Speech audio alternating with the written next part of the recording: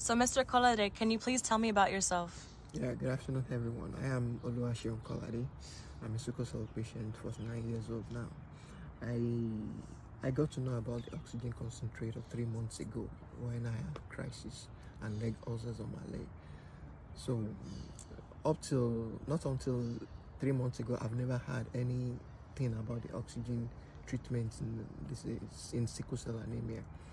But um, after the last three months, which I've been using the oxygen concentrator and the medication, I've seen tremendous changes in my in my in my sickle cell life, which I'm I would like to share with everyone. Please share. So, um, until three months ago, I visit hospital almost every month in the case of crisis, infections, and all that, my sickle cell and my leg ulcers. After using the oxygen concentrator, I noticed the first 10 minutes of my anytime I, I, I want to have crisis and I put on the oxygen concentrator, the crisis just gradually disappear and which I can sleep better since then. And I've not been visiting hospital regularly the way I used to. And I noticed also that my leg ulcers has been improving in in healing. Actually, within the first two weeks of using the oxygen concentrator, all the leg ulcers dried up. Actually, it is really reduced, which I was very very surprised. And I think um, the use of oxygen concentrator has really helped in the treatment of um, my sickle cell anemia. So, could you tell us about how you use the oxygen concentrator? Is it easy to use? Does it make noise? Yes, the oxygen concentrator. Well, the first one I have is um, is used with the electricity, which is not um, it cannot be carried about. So I normally use that anytime I want to sleep or anytime I'm, I'm in a relaxed mood in the house. So and it's not um it's not difficult to use. You just have to place the cannula above the head like this and let me do a little bit of demonstration put the cannula and you plug this into the device and that's it and you are enjoying your oxygen. So it's very easy to use and it's not um it's not noisy at all. It's a, it's a, it's a device you can sleep with. And can you tell us how long you have to use the oxygen concentrator? Yeah it doesn't really have a um, specific time of using the oxygen concentrator but anytime I feel tired and um, probably the first few minutes of the crisis, I just put it on and gradually I sometimes sleep with it and I wake up in the middle of the night feeling healthy, then I just put it off. So the symptoms of a sickle cell crisis are severe excruciating pain, a pain that has been classified as 10 times worse than labor pain. There's no other pain that approaches the pain of sickle cell because it's a multi-organ vessel occlusion. And this pain essentially incapacitates the patient and leads to hospitalization for sometimes weeks and leads to complications like acute chest syndrome that becomes life-threatening. So again, for sickle cell, you have severe excruciating pain, you have jaundice from destruction of the red blood cells, severe joint pains in the legs, in the backs that are really almost difficult to control with medications. Actually, oral medications don't control it. It has to be parenteral narcotics, parenteral anti-inflammatories, and time is of the essence because the longer the crisis lasts, the longer the, the, the cells become irreversibly sickled after 10 minutes, and the earlier time to intervention with pain medications and anti-inflammatory, the shorter the crisis. In fact, it's advocated that ambulances should have a standing order for pain medication and anti-inflammatories that the patient has previously tolerated in a prior hospitalization so the ambulances can give the patient the injection of the medication before transporting them to the hospital where there's going to be any further delay. It's no different than patients with heart attack where the ambulances give morphine when they arrive at the patient's home. So using this oxygen prevents the severe pain, prevents the organ damage, prevents the hospitalizations, prevents all the complications, prevents death. And again, oxygen should be used when the patient is a high, in a high altitude city like Las Vegas or Colorado, when the patient is traveling in the air, no patient with sickle cell anemia should travel in the air without oxygen because aircraft are pressurized to 8,000 square feet. And at 8,000 square feet, the oxygen saturation for patients with sickle cell is about 77%. So that patient is traveling with severe hypoxia for hours on the end. At the end of the flight, they end up with a sickle cell crisis, avascular necrosis of the hips, and other severe complications. So it's so the use of oxygen is going to change lives, nine million lives. Thank you. Yeah, you asked, asked the question. That's the question. What has been this experience in pain control for its crisis? So, what has been your experience in pain control for your crisis? Well, hmm, the pain could be as excruciating as doctor has explained it. Sometimes um, when the crisis starts like that, you you can't do any other thing than shouting and crying. At times you cannot even lay down, you can't stand up. You can imagine how bad the pain could be.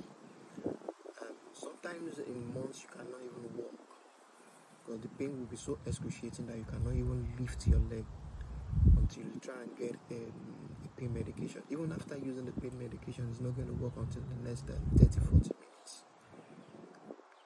So you can imagine through all that minutes going through a very excruciating pain. and see how difficult and alarming that could be.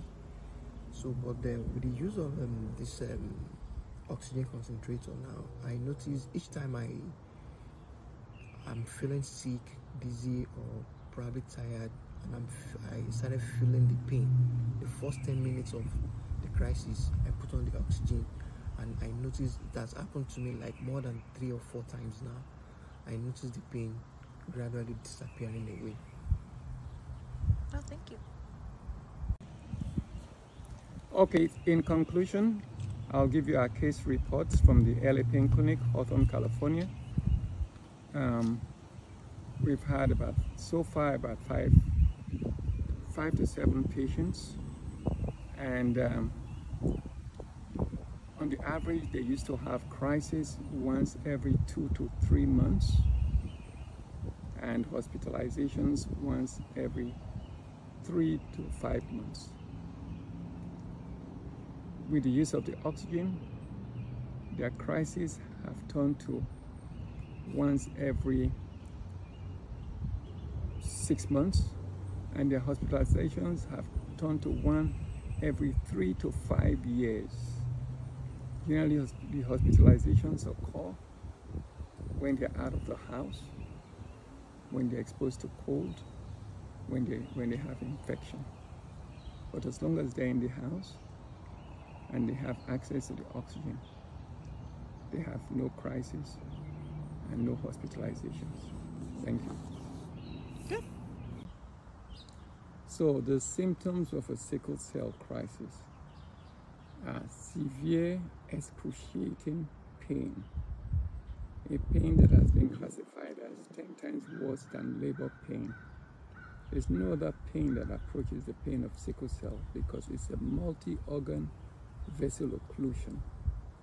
And this pain essentially incapacitates the patient and leads to hospitalization for sometimes weeks and leads to complications like acute chest syndrome that becomes life-threatening. So again, for sickle cell, you have severe excruciating pain, you have jaundice from destruction of the red blood cells, severe joint pains in the legs, in the backs that are really almost difficult to control with medications. Actually, oral medications don't control it. It has to be parenteral narcotics, parenteral anti-inflammatories, and time is of the essence because the longer the crisis lasts, the longer the, the, the cells become irreversibly sickled after 10 minutes. And the earlier time to intervention with pain medications and anti-inflammatory, the shorter the crisis. In fact, it's advocated that ambulances should have a standing order for pain medication and anti-inflammatories that the patient has previously tolerated in a prior hospitalization so the ambulances can give the patient the injection of the medication before transporting them to the hospital where there's going to be any further delay. It's no different than patients with heart attack where the ambulances give morphine when they arrive at the patient's home. So using this oxygen prevents the severe pain, prevents the organ damage, prevents the hospitalizations, prevents all the complications, prevents death. And again, oxygen should be used when the patient is a high, in a high altitude city like Las Vegas or Colorado, when the patient is traveling in the air, no patient with sickle cell anemia should travel in the air without oxygen because aircraft are pressurized to 8,000 square feet. And at 8,000 square feet, the oxygen saturation for patients with sickle cell is about 77%. So that patient is traveling with severe hypoxia for hours on the end. At the end of the flight, they end up with a sickle cell crisis, avascular necrosis of the hips, and other severe complications. So it's so the use of oxygen is going to change lives, nine million lives. Thank you.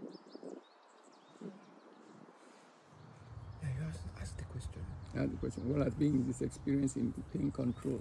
for its crisis. So, what has been your experience in pain control for your crisis? Well, hmm, the pain could be as excruciating as doctor has explained it. Sometimes, um, when the crisis starts like that, you you can't do any other thing than shouting and crying. At times, you cannot even lay down. You can't stand up. You can imagine how bad the pain could be. Um, sometimes, in months, you cannot even walk because the pain will be so excruciating that you cannot even lift your leg until you try and get um, pain medication. Even after using the pain medication, it's not going to work until the next uh, 30 40 minutes. So you can imagine through all that minutes going through a very excruciating pain. and see how difficult and alarming that could be. So, but then with the use of um, this um, oxygen concentrator now, I notice each time I I'm feeling sick, dizzy, or probably tired, and I'm, I started feeling the pain. The first 10 minutes of the crisis, I put on the oxygen, and I noticed that's happened to me like more than three or four times now. I noticed the pain gradually disappearing away. Oh, thank you. And can you tell us how long you have to use the oxygen concentrator? Yeah, it doesn't really have a um, specific time of using the oxygen concentrator anytime I feel tired and um, probably the first few minutes of the crisis, I just put it on and gradually I sometimes sleep with it and I wake up in the middle of the night feeling healthy, then I just put it off. So I know prior to using the oxygen concentrator, you were in the hospital almost monthly. Yes. How has your experience been post using it for about those three months? Yeah, in the last three months after using the oxygen, uh, the oxygen concentrator, I've not visited the hospital at all. I've, I've been managing myself with the oxygen concentrator and the, the use of this medication, which I have not had any cause to visit the hospital at all in the last three months of my using the oxygen concentrator. Okay, pause. So, Mr. Kolade, can you please tell me about yourself? Yeah, good afternoon, everyone. I am Oluwaseun Kolade. I'm a sickle cell patient, 49 years old now. I I got to know about the oxygen concentrator three months ago when I had crisis and leg ulcers on my leg. So, up till not until three months ago, I've never had anything about the oxygen treatment in this is in sickle cell anemia. But um, after the last three months, which I've been using the oxygen concentrator and the medication, I've seen tremendous changes in my in my in my sickle cell life, which I'm I would like to share with everyone. Please share. So, um, until three months ago, I visit hospital almost every month in the case of crisis, infections, and all that, and my sickle cell and my leg ulcers. After using the oxygen concentrator, I noticed the first 10 minutes of my anytime I, I, I want to have crisis and I put on the oxygen concentrator, the crisis just gradually disappear and which I can sleep better since then. And I've not been visiting hospital regularly the way I used to.